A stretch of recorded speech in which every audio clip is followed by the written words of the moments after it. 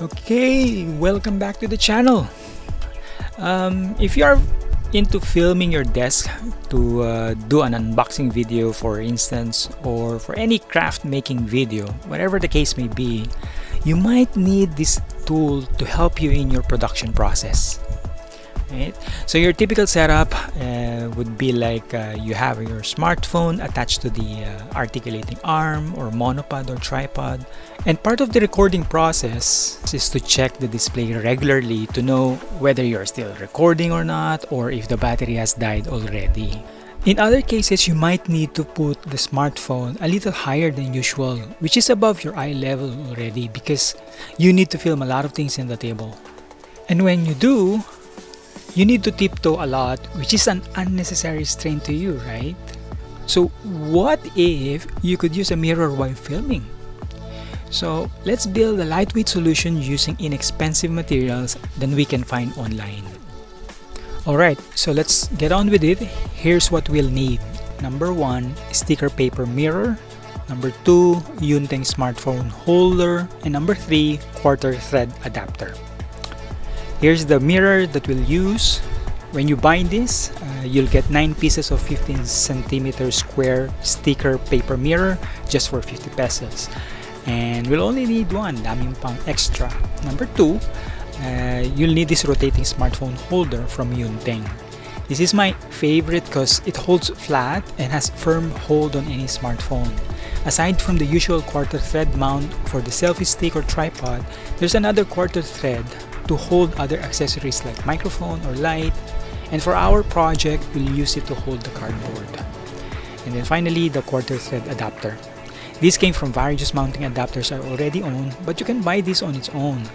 I'll provide the links in the comment section for the shop list. We'll need an empty box and other tools like ruler, pencil or marker, scissors or cutter First thing to do is to line up the cardboard box against your smartphone to see where you could place the mirror. Do a rough measure of the folds and for the cutout. I'd recommend to give enough allowances on the edges so you have enough room for the adjustments later. For the mirror, it will depend on how big you'd like the mirror to be.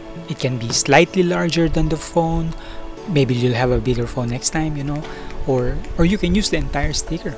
For me, slightly larger than my phone should do.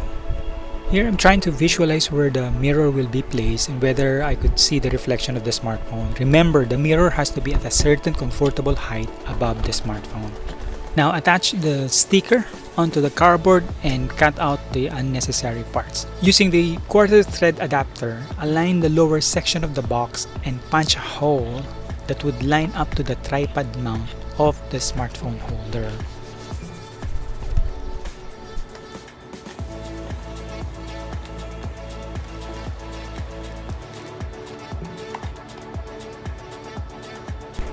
Finally, place the smartphone and test the viewing angle of the mirror and make the necessary adjustments that's needed.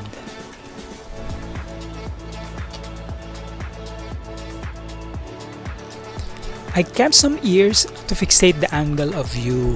This is an optional step but I just thought it might help in the future especially if the cardboard is no longer yielding to the desired position due to stress in the crease. Alright, eto na. I've attached the tool to the arm. Let's see it in action.